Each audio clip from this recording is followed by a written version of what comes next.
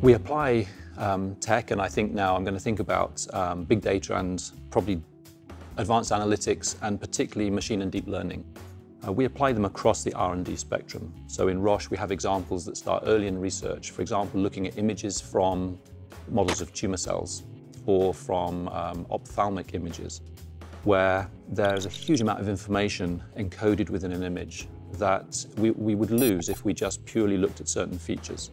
So using deep learning architectures, for example, we can draw a lot more information from those.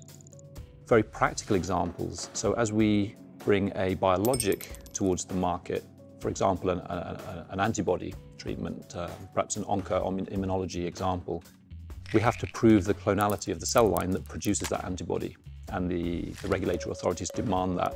And that sounds like a trivial challenge, but actually it's extremely difficult to do at scale.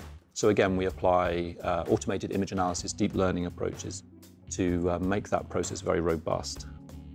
And then as we get into the clinic, I think technology is really exploding there for us. So one of the areas we've really been innovating in um, is the use of digital biomarkers.